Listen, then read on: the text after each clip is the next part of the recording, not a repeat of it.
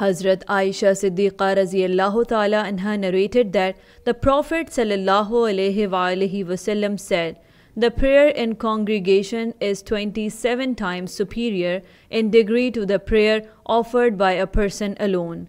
Musnad Ahmad, Hadith number 23132.